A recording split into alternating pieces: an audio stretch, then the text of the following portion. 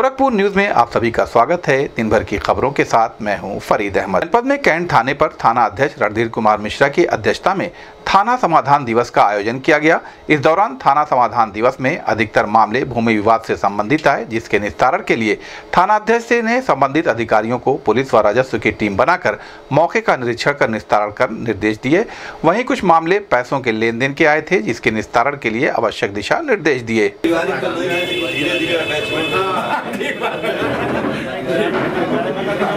उसी से वो रोड देंगे ही देंगे।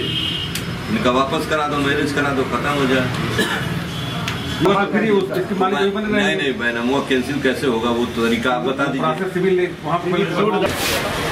तो बनावा हो गया ना रजिस्टर्ड बनावा हो गया। मुख्यमंत्री योगी आदित्यनाथ ने गोरखनाथ मंदिर में जनता दरबार लगाया। इस दौरान मुख्यमंत्री योगी आदित्यनाथ ने अधिकारियों को हर जरूरतमंद तक बेहतरीन चिकित्सा सुविधा उपलब्ध कराने का निर्देश दिया। उन्होंने सभी पात्रों का आयुष्मान हेल्थ कार्ड बनाने और किसी के पास यह कार्ड न होने पर बड़े संस्थानों में उसके इलाज के लिए एस्टीमेट बनाकर शासन को भेजने की हिदायत दी है। मुख्यमंत्री ने कहा है कि हर जरूरतमंद को इलाज के लिए मुख्यमंत्री विवेकाधीन कोष से भरपूर मदद दी जाएगी।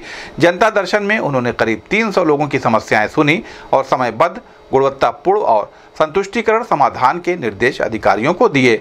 मंदिर परिसर के महंत दिग्विजयनाथ स्मृति भवन के बाहर कुर्सियों पर बैठाए गए लोगों तक मुख्यमंत्री खुद पहुँचे और बड़े इतमान से उनकी बात सुनने के बाद उनके प्रार्थना पत्रों को संबंधित अधिकारियों को संदर्भित किया। मुख्यमंत्री ने सभी लोगों को भरोसा दिलाया कि सबकी पीड़ा दूर की जाएगी। जनता दर्शन में पहुँची एक महिला ने मुख्यमंत्री को अपनी बिटिया के गंभीर रूप से बीमार होने की जानकारी दी।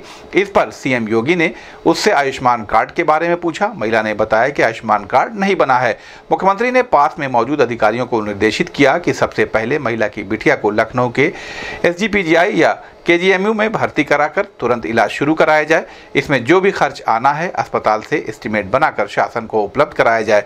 उन्होंने अधिकारियों को उक्त महिला का आयुष्मान कार्ड बनवाने का भी निर्देश दिया। साथ ही कहा कि जो भी जरूरतमंद आयुष्मान हेल्थ कार्ड से वंचित रह गए हैं, उनके कार्ड प्राथमिकता के आधार पर बनवाए जाएँ। जनता दर्शन में पुलिस व राजस्व से जुड़ी शिकायतों पर मुख्यमंत्री ने कहा कि अधिकारी ज़िले स्तर पर ही समस्या का समाधान सुनिश्चित करें ताकि लोगों को परेशानी न हो। उन्होंने दो टूक हिदायत देते हुए कहा कि जन समस्याओं के निस्तारण में हीला हवाली अच्छा में होगी। हर व्यक्ति की समस्या का पूरी प्रतिबद्धता और पारदर्शिता से न्यायोचित समाधान शासन प्रशासन की सर्वोच्च प्राथमिकता होती है और इसमें किसी ने भी लापरवाही की तो उसे दंड का भागी बनना पड़ेगा। इसलिए अधिकारी संवेदनशीलता से लोगों की समस्याओं को सुने और गुणवत्तापूर्ण, त्वरित समाधान सुनिश्चित करें। इस अवसर पर जिलाधिकारी Krishna Karudesh, SSP doctor Gaurav Grover, SP city Krishna Kumar Bishnoi सहित अन्य अधिकारी मौजूद रहे। चिंता मत कहाँ से आए क्या हो गया है? देख बरहज से हैं या कुशीनगर से हैं आप? कुशीनगर जिला में। ये कुबेर कौन मारा है? कहाँ कौन थाना क्षेत्र में पड़ता है? देखो किसके स्तर पर लापरवाही आप कहाँ से हैं? क्या हो गया? अच्छा लड़कियाँ है एक लड़कियाँ कहाँ कहाँ उपचार कहाँ करा रहे हैं? दवाई करा कर हार गई है। डॉक्टर बोला वाला लखनऊ लखनऊ किसी को दिखाया हाँ लखनऊ आप एक काम करो इसको बने भी यहाँ वहाँ से भेजो इसको वहाँ पी टी आई या के टी एम में भेजो इनको एडमिशन करवाने के लिए एस्टिमेट बनवा दो सहयोग करवा देंगे ठीक है ना? आयुष्मान का कार्ड है कि नहीं? है नहीं है। कार्ड कोड बनवाओगे इनका? जनपद में शासन के लक्ष्य के सापेक्ष 5000 मीट्रिक टन धान की खरीदारी की जा चुकी है, जिसके संबंध में एडीएम फाइनेंस विनीत कुमार सिंह ने बताया कि जनपद में धान खरीद के लिए शासन का एक लाख नब्बे हज़ार मीट्रिक टन धान खरीद का लक्ष्य है। अभी तक 5000 मीट्रिक टन धान की खरीदारी की जा चुकी है। दीपावली के बाद धान की आवक बढ़ी है, इसलिए हमारी उम्मीद है कि जनवरी तक इस लक्ष्य को प्राप्त कर लेंगे। उन्होंने किसानों से अपील किया कि धान केंद्रों पर जाकर अपने धान को बेचें। बिचौलियों के बीच में ना पड़े। सरकार द्वारा जो धान खरीद के लिए राशि निर्धारित की गई है उसको दिया जाएगा। इस संबंध में गोरखपुर न्यूज़ से बात करते हुए एडीएम फाइनेंस विनीत कुमार सिंह ने कहा। जनपद में कुल एक लाख नब्बे हज़ार मीट्रिक टन का लक्ष्य है। उसके सापेक्ष अभी तक पाँच हज़ार मीट्रिक टन की धान खरीद की जा चुकी है। और अब चूँकि दीपावली के बाद धान की आवक बढ़ी है धीरे धीरे तो उम्मीद है कि हम जल्द से जल्द जो है अगस्त दिसंबर और जनवरी में इस लक्ष्य को प्राप्त करेंगे? किसानों से यही अपील है मेरी कि गोरखपुर के आईटीएम गीडा के तीन छात्रों ने मिलकर स्मार्ट हेलमेट बनाया है, जिसकी खूबी यह है कि ये दुर्घटना में सर की रक्षा करने के साथ ही डॉक्टर व परिवार को काल भी करेगा। जिससे समय रहते घायल चालक की जान बचाया जा सके। मैकेनिकल इंजीनियर सेकंड ईयर के तीन छात्र सुजीत यादव, शुभम कुमार और आदित्य यादव ने यह मॉडल बनाया है। इस हेलमेट में एयर पॉल्यूशन से बचने के भी प्रबंध किए गए हैं। वहीं इस संबंध में मीडिया से बात करते हुए छात्र सुजीत यादव ने कहा कि हर साल सड़क दुर्घटना में हज़ारों लोग अपनी जान गंवा देते हैं, जिससे बचने के लिए इस हेलमेट को बनाया गया है। मोटरसाइकिल चलाते समय इस हेलमेट को मोबाइल से कनेक्ट करना होता है। कनेक्ट होने पर यह डिवाइस एक्टिव हो जाता है। हेलमेट में एक इमरजेंसी बटन भी लगाया गया है, जिसे दबाने से सेट एंबुलेंस व डॉक्टर या परिवार के सदस्य के नंबर पर कॉल चली जाती है। इससे समय रहते घायल को हॉस्पिटल पहुंचाकर जान बचाई जा सकती है। इस संबंध में गोरखपुर न्यूज़ से बात करते हुए आईटीएम गीडा के विनीत राय, छात्र सुजीत यादव, शुभम कुमार ने कहा। सर, मेरा नाम विनीत राय है। हमारे यहाँ मैकेनिकल संगठन कुछ बच्चों ने मिलकर एक हेलमेट बनाया है, जो पोल्यूशन प्रोटेक्शन हेलमेट है। बनाने का उद्देश्य क्या है, सर, कि आज के टाइम हम देख रहे हैं एयर क्वालिटी इंडेक्स का लेवल कहाँ तक पहुँच गया है। जनरली जो व्हीकल चलाया जाता है टू व्हीलर वो ओपन एरिया में चला जाता है। तो उसमें क्या होता है कि कोई भी बंदा जब व्हीकल ड्राइव करता है बाइक तो उसको सामने से डस्ट और ऐसी एयर मिलती है। इसमें उन्होंने एक इंतज़ाम ऐसा किया है कि एक फिल्ट्रेशन सिस्टम लगाया है, जिससे वो क्या होगा कि सामने से जो एयर आएगा, उसमें जो डस्ट पार्टिकल्स होंगे वो एक जगह कलेक्ट हो जाएँगे और क्लीन एयर उसको मिलेगा। और इसमें उन्होंने एक ब्लूटूथ डिवाइस ऐड किया है, जो उद्देश्य बनाने का ये था इसमें कि अगर वो ड्राइव करते हुए कोई इंजूरियस या किसी ऐसे कंडीशन में है जहाँ उसका एक्सीडेंट हो गया है तो उससे अगर वो ब्लूटूथ को ऑन मतलब क्लिक करता है तो जो भी उसके सेव नंबर होंगे डॉक्टर्स के या रिलेटिव्स के, उसके पास ये मैसेज चला जाएगा। प्लस इसमें उन्होंने एक लाइटिंग सिस्टम बैक लगाया है इंडिकेटर का। लगाने का क्या है कि जैसे फॉग के टाइम में पीछे की विजिबिलिटी थोड़ी कम होती है सर तो पीछे अगर कोई वहीकल आ रहा है तो वो 10 मीटर या पहले होगा तो उसको वो लाइट दिखेगी। तो इससे हम अपने आप को प्रोटेक्ट कर सकते हैं। क्योंकि आज के टाइम में जो डेथ हो रही है नॉर्मल डेथ कम हो रही है एक्सीडेंट से डेथ ज़्यादा हो रही है। तो इससे हम लोग ये भी एक मैसेज देना चाहते हैं कि सब लोग हेलमेट पहने और क्लीन एयर को फील मेरा नाम शुभम कुमार है। मैं बीटेक मैकेनिकल सेकेंड ईयर का छात्र हूँ। हम लोगों ने मिलकर एक स्मार्ट हेलमेट बनाया है, जिसका नाम पीपीएच है, यानी कि पॉल्यूशन प्रोटेक्शन हेलमेट इसमें हम लोगों ने कई सारी चीज़ों को इस्तेमाल किया है और इस, इसके बनाने का कारण हमारा ये है कि हमने देखा है कि कई जहाँ बहुत सारे एक्सीडेंट होते हैं, जिसका कारण ड्राइविंग के दौरान एक्सीडेंट होते हैं। और इसके ज़्यादातर कारण केयरलेस होता है, जिसने कि हेलमेट हम लोग नहीं पहनते हैं। और कई सारी चीज़ें ऐसे होती हैं, जैसे कि कोई चीज़ आग में पड़ जाती है, इस तरह इससे इससे भी हमें बहुत नुकसान होता है। तो हम लोगों ने मिलकर एक ऐसा हेलमेट बनाया है, जिसमें एयर प्योरीफायर है, स्मार्ट ब्लूथिंग सिस्टम है, एंड बैक इंडिकेटिंग सिस्टम है। जिसमें कि इस प्योरीफायर हमारा ये काम करता है कि अगर कोई भी डस्ट पार्टिकल्स है, उसको हमारे प्योरीफाई करता है और तब इनटेक करता है मतलब इनहेल करते हैं हम यानी फ्रेश एयर लेते हैं हम लोग। और फिर इसमें स्मार्ट ब्लूटूथ सिस्टम है जैसे कि हमारा कोई अगर बाई चांस एक्सीडेंट होता है तो एक सिंगल क्लिक से हमारे एंबुलेंस या फिर डॉक्टर को कॉल जा सके या फिर हमारे निजी किसी को कॉल जा सके और उनसे इंफॉर्मेशन मिल सके। कितना टाइम लगा बनाने में इसको? सर इसमें हम लोग को 10 से 15 दिन लगे हैं बनाने में और सारे सामान को इकट्ठा करने में 10 से 15 कितना कॉस्ट है? इसमें सर हम लोग का कॉस्ट आया approx two thousand rupees accident होता है मौत हो जाती है उनकी उससे हम लोग बच सकते हैं। इसमें हम लोग काफ़ी चीज़ लगाया हुआ है जैसे कि एयर फ़िल्टर लगाया है जो कैसे काम करता है ये? सर ये काम करता है मान लीजिए कोई हवा आ रही है डस्ट हवा आ रही है उसे ये फ़िल्टर करके हम ले सकते हैं। जिसका यूज़ हमने किया है कॉटन का जिसे हवा आए प्योरीफायर होके और हम लोग उसे इनहेल कर सकते हैं। तो दुर्घटना होने पे कैसे कॉल कर सकते हैं? सर दुर्घटना होने पे हम लोग लगाया है ब्लूटूथ जिससे हमारे किसी डॉक्टर या एंबुलेंस या हमारे किसी रिश्तेदारों को फ़ोन कर सकते हैं उससे। और हम लोगों ने पीछे एक बैक लाइट लगाया हुआ है, जैसे फॉग में चलते हैं, ठंड के सीज़न में तो पीछे जो गाड़ियाँ चल रही हैं, उन सबको इंडिकेट करें कि हाँ सामने हमारी एक कोई गाड़ी चल रही है। जिससे हम लोग की एक्सीडेंट होने से शासन के निर्देश पर साधु टीएल वासवानी की जयंती के अवसर पर जनपद में मांस की दुकानें बंद रहीं। आपको बता दें कि शासन ने शुक्रवार को 25 नवंबर को साधु टीएल वासवानी की जयंती के अवसर पर मांस रहित दिवस घोषित किया था। इससे पहले प्रदेश में महावीर जयंती, बुद्ध जयंती, गांधी जयंती, शिवरात्रि पर्व पर मांस की दुकानें बंद होती हैं, लेकिन पच्चीस नवंबर को भी अब सभी प्रदेश की मांस की दुकानें बंद रहेंगी, जिसका जनपद के मांस कारोबारियों ने पालन किया और सभी दुकानें बंद नज़र आई।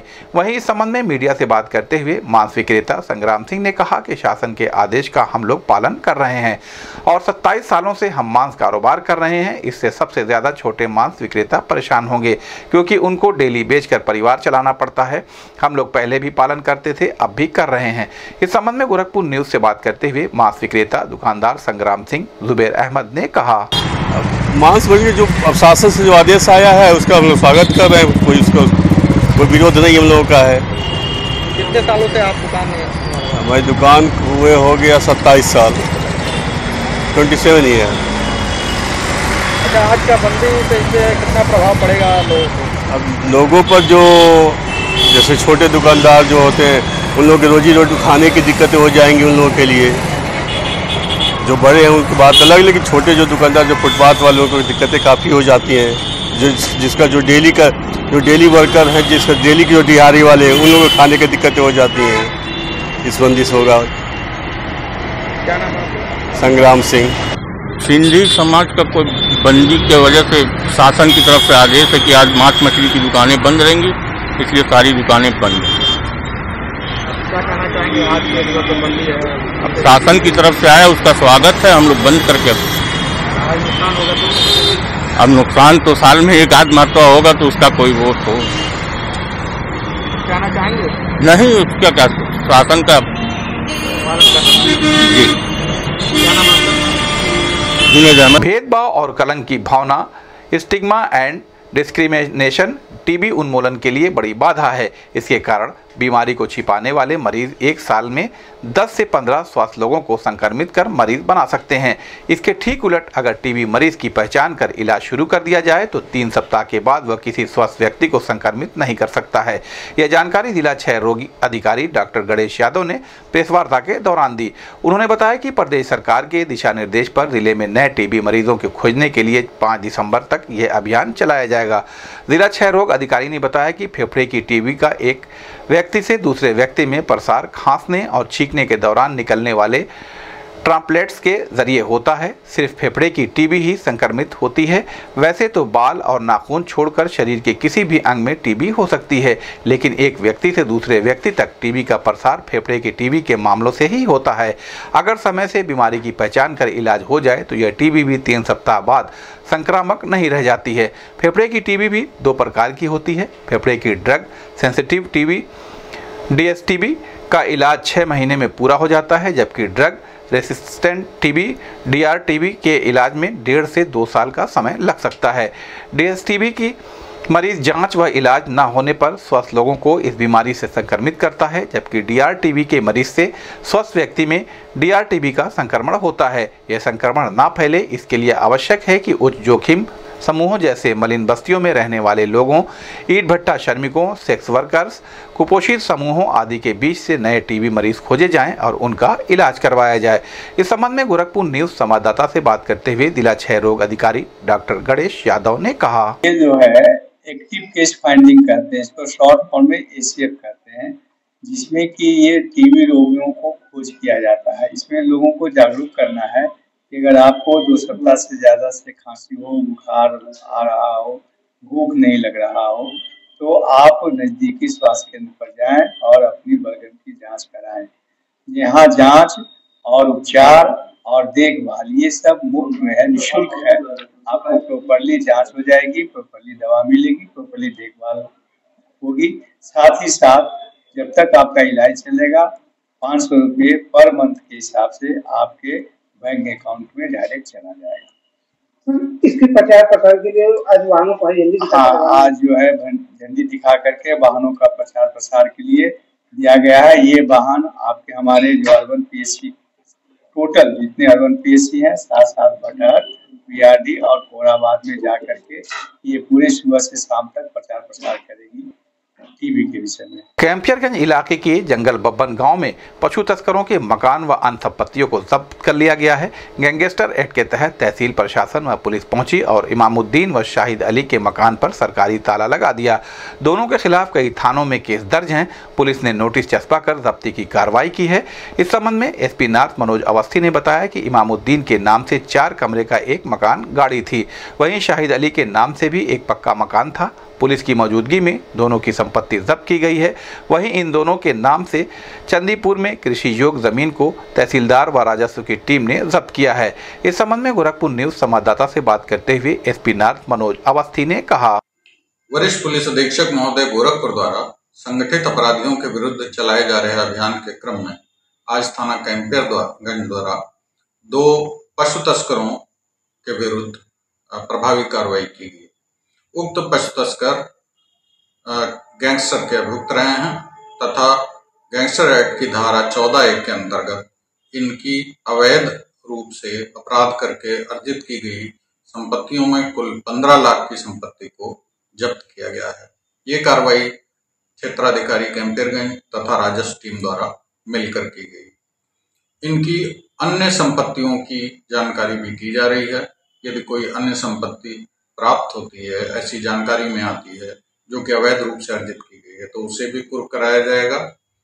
इन अपराधियों के नाम शाहिद अली व इमामुद्दीन है। गोरखपुर ज़िले में 23 नवंबर से शुरू हुए सक्रिय छह रोगी खोजी अभियान, एसीएफ कैंपेन के प्रचार वाहनों को कार्यवाहक सीएमओ और एसीएमओ आरसीएच डॉक्टर ए के चौधरी द्वारा हरी झंडी दिखाकर रवाना किया गया। इस संबंध में जिला क्षय रोग अधिकारी डॉक्टर गणेश यादव ने बताया कि ज़िले में नए टीबी मरीजों को खोजने के लिए चलाया जा रहा सक्रिय क्षय रोगी अभियान। इसके व्यापक प्रचार प्रसार के लिए आज वाहनों को हरी झंडी दिखाकर रवाना किया गया है, जो समस्त ब्लाकों और अर्बन पीएचसी सीएचसी में जाकर टीबी मरीजों को जागरूक किया जाएगा। उन्होंने बताया कि नए टीबी मरीजों की सीबीनॉट जाँच कर पता लगाया जाता है कि वो डीआरटीवी के मरीज़ हैं या डीएसटीवी के। इसी आधार पर उनकी दवा शुरू की जाती है। ज़रूरतमंद टीबी मरीजों को, निश्चय मित्रों को गोद दिलवाया जाता है ताकि उन्हें पोषण और मानसिक सबल मिल सके और वह इस बीमारी से मुक्त हो सके। इस संबंध में गोरखपुर न्यूज़ संवाददाता से बात करते हुए जिला क्षय रोग अधिकारी डॉक्टर गणेश यादव ने कहा, देखिए, आज जो है हरी झंडी दिखा करके वाहनों को यहाँ से रवाना किया गया है। Active case finding ACA programme चल रही है, जो 23 नवंबर से लेकर के 5 दिसंबर तक लगातार चलेगी। आज वाहनों के द्वारा उसमें सभी लोगों को जागरूक करने के लिए, टीवी के विषय में बताने के लिए कि अगर किसी को खांसी है, बुखार है भूख नहीं लग रही है, वज़न घट रही है तो वो नज़दीकी स्वास्थ्य केंद्र पर आएँ, कहीं भी स्वास्थ्य केंद्र पर आ करके अपनी बलगम का जाँच कराएँ। अगर वो पॉजिटिव निकलता है तो उसका जो इलाज करने के लिए हम लोग दवा भी देते हैं जाँच भी करते हैं दवा भी देते हैं और उनकी देखभाल भी की जाती है। साथ साथ जो है सरकार के मंशा के अनुसार सरकार की तरफ़ से पाँच सौ रुपये का पोषण भत्ता के रूप में जब तक इलाज चलता है तब तक उनको मिलता है। इसकी प्रचार प्रसार कर जागरूकता रैली ये कहाँ कहाँ जाएगी ये जो है पूरे अपना अर्बन में अर्बन में पूरे सभी घरों को वो विज़िट करके और घूमेंगे। और सब लोगों को बता। पर पुलिस महानिदेशक गोरखपुर जोन, गोरखपुर के निर्देशन में पुलिस अधीक्षक अपराध इंदु प्रभा सिंह की अध्यक्षता में समाधान अभियान एनजीओ की डायरेक्टर सीलम वाजपेयी व गोरखपुर विश्वविद्यालय के गृह विज्ञान के विभागाध्यक्ष डॉक्टर दिव्या रानी द्वारा international day for the elimination of violence against women के अवसर पर जनपद के समस्त स्थानों पर महिला सुरक्षा दल में नियुक्त महिला पुलिसकर्मियों का प्रशिक्षण कार्यक्रम कराया गया, जिसमें महिला संबंधी अपराध बाल अपराध तथा महिला उत्पीड़न संबंधित कानूनी प्रावधान के संबंध में विस्तार से जानकारी दी गई। साथ ही महिला सुरक्षा दल में नियुक्त महिला पुलिसकर्मियों को मिशन शक्ति अभियान के तहत चलाए जा रहे जन जागरूकता अभियान कार्यक्रमों में उपरोक्त प्रावधानों के संबंध में आम जनमानस को जागरूक किए जाने हेतु आवश्यक दिशा निर्देश दिए गए। बॉडी पार्ट्स हम का पिछले साल हम लोगों ने बहुत अच्छा साइबर क्राइम पे वर्कशॉप की थी। तो ये भी समझ में आया कि because I remember she said कि ज़रूरी नहीं।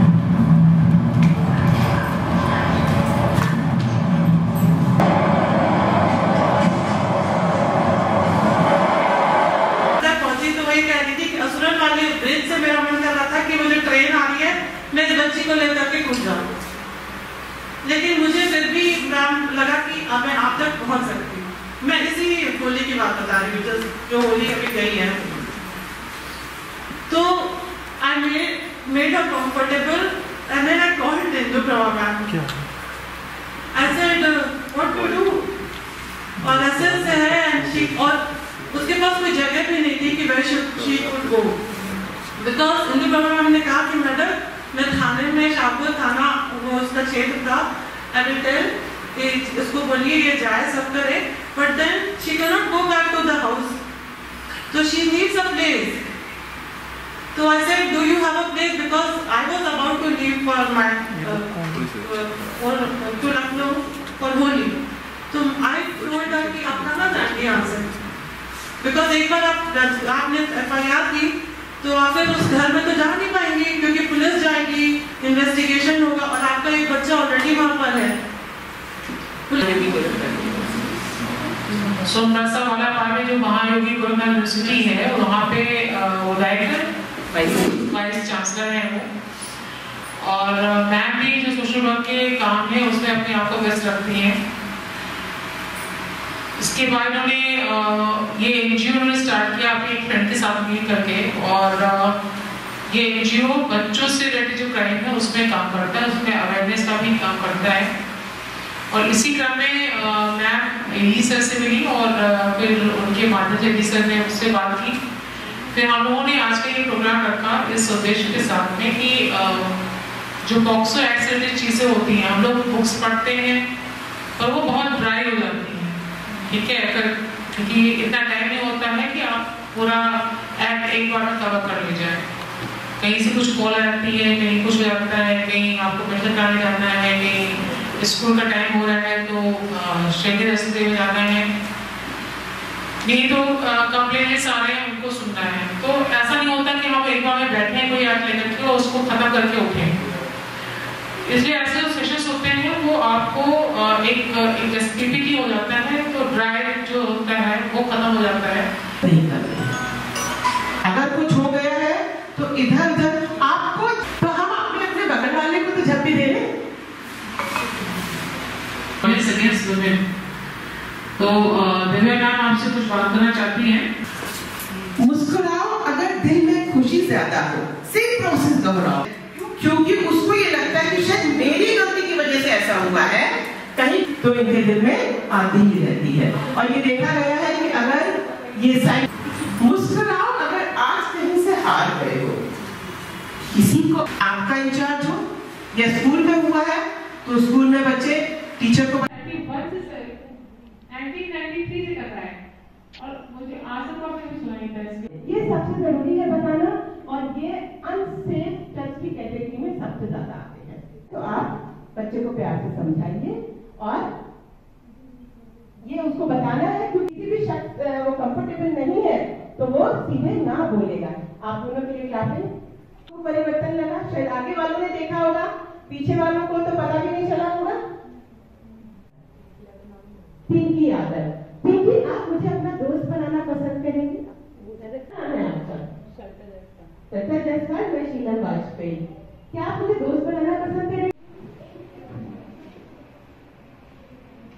इस संबंध में गोरखपुर न्यूज़ संवाददाता से बात करते हुए एसपी क्राइम इंदु प्रभा सिंह ने कहा। आज गोरखपुर सभागार में समाधान अभियान नामक एक एनजीओ से संबंधित श्रीमती श्रीनम वाजपेयी जी के द्वारा पॉक्सो एक्ट से संबंधित एक जागरूकता अभियान और प्रशिक्षण कार्यक्रम जो हमारे महिला कांस्टेबल्स हैं, उनके लिए ऑर्गेनाइज किया गया था।